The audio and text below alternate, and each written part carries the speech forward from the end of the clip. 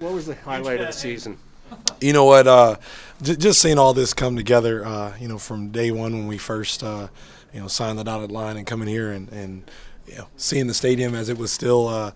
in the stage of being put together, and then just seeing all the guys coming together for training camp and, and just all the relationships that were being built. Uh, you know, seeing truly how young we are when we first started, because uh, you know guys didn't understand the dimensions of the field, and some guys probably didn't even know that there there was no fair catching in CFL football, and and then also, uh, uh, but to me, just the entire journey this year. Uh, you know, for me, I grew up a lot this year because you know now I realize that I'm really an elder statesman as far as in this league, and and uh, you know besides being uh, you know one of the teammates on this team, I'm also a teacher on this team, and but just to see where a lot of our young guys started to where they ended up as far as all the wealth of knowledge and uh, the experience that we all received this year together as a team, uh, it's going to make us better as far as uh, when we all come back together. It's not going to be uh, a situation where we're putting on Pampers uh, on day one. It's actually we're going to be maturing men who understand the game of football now. What was the tough part of the season?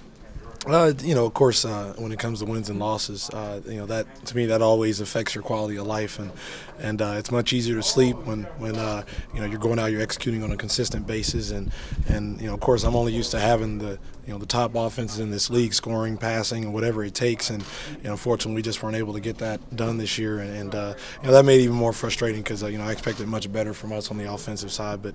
it is what it is. I mean, we got to get over our inconsistencies and the things that we didn't do well, and make sure uh, we overcome, learn from those mistakes, and uh, make sure that we're on the same page much better next year, and that, that the knowledge that we picked up this year uh, it proves into our favor in the 2015 season. How would you eval- evaluate your own performance this year?